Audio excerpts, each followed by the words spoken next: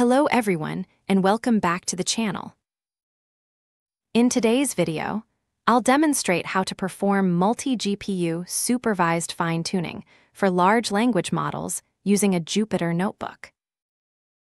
As you see here, I'm utilizing Kaggle, a platform dedicated to data science computations that conveniently provides users with access to free GPUs.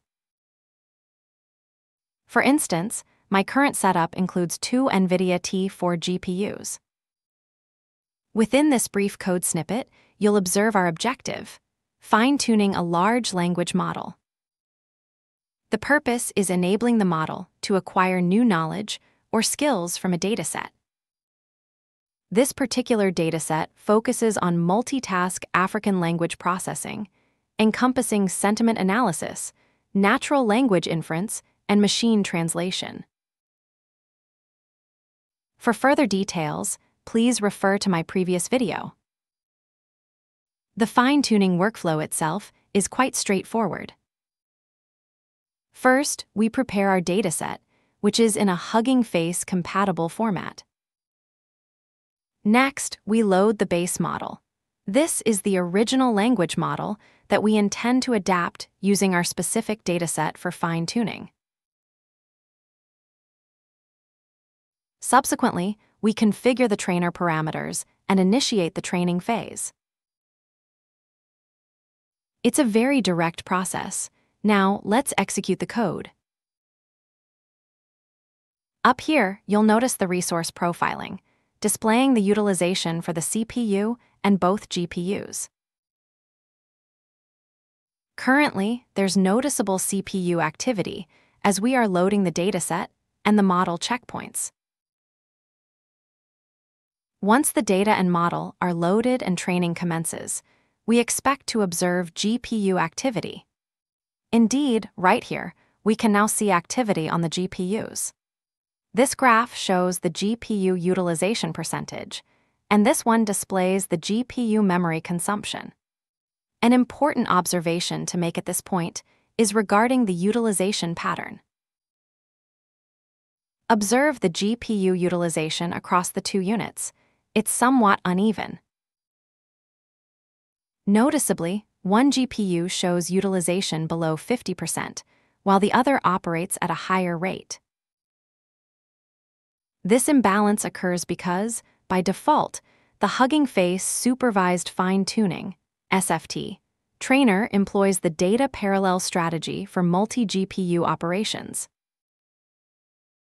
Data parallel DP is a recognized strategy within PyTorch for multi GPU training environments, as illustrated conceptually.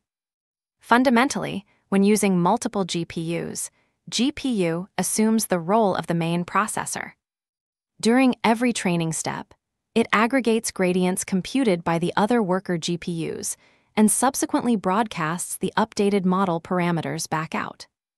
You can visualize how this intensive communication focused on GPU becomes a performance bottleneck, resulting in the reduced GPU utilization we noticed earlier for GPU 0. This inherent bottleneck represents a significant downside of the data parallel DP mode. In contrast, an optimized approach exists called distributed data parallel DDP. The fundamental distinction with DDP is the absence of a designated main GPU. Instead, all participating GPUs operate as peers and share the workload more evenly. Essentially, at the conclusion of each backward pass, DDP performs an all-reduce operation. This involves collectively gathering and averaging the gradients calculated across all peer GPUs. Following this synchronization, since every GPU maintains its own independent copy of the model's weights, each can locally apply the computed gradient updates to its weights. Consequently, DDP significantly reduces communication overhead compared to the DP approach. Now, let's proceed to implement distributed data parallel. Modifying our SFT trainer code for DDP is remarkably simple. First, let's review the performance of our current data parallel version. As you can observe, the estimated completion time is roughly 10 minutes. Yes, approximately 10 minutes total runtime. This translates to each iteration requiring slightly over 2 seconds, or about zero. Four iterations per second for the DP setup. Now, let's evaluate DDP's performance. We'll begin by canceling the current execution. Modifying the existing code to switch from DP to DDP is quite straightforward. The initial step involves restructuring our code. We need to encapsulate the entire training logic within a dedicated function, like so. The second necessary modification concerns device mapping for DDP. We must ensure the model checkpoints are correctly assigned to each GPU within its corresponding independent process during loading. Therefore, we must adjust the device map parameter. To achieve this, we'll utilize the Accelerate library, another valuable tool from Hugging Face.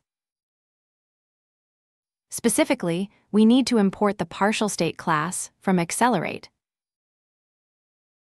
This class will help manage the state across different distributed processes, including device placement. Next, we construct the device string required for the mapping. This is obtained using partial state, specifically accessing its process index attribute to get the correct device ID. Here, instead of using device map equals auto, we will provide a dictionary where the key is an empty string, and the value is our dynamically generated device string. Right, this constitutes the primary modification needed within the model loading section, replacing device map equals auto with our specific device dictionary. That essentially covers the changes required inside the training function itself. However, to actually initiate the distributed training process, we now need to employ the Notebook Launcher from Accelerate. Essentially, the process involves importing Notebook Launcher directly from the Accelerate library. We can then initiate the multi-process training execution simply by calling this launcher instance, supplying our previously defined training function, train function, as the primary argument to be executed across the processes. Since our training function currently accepts no input arguments, we pass an empty argument list to the launcher. We specify that we have two GPUs available, meaning we require two distinct processes. Num processes equals 2. Additionally, it's often good practice to specify a unique communication port, for instance, using a value like 6006. Now, let's try executing these changes.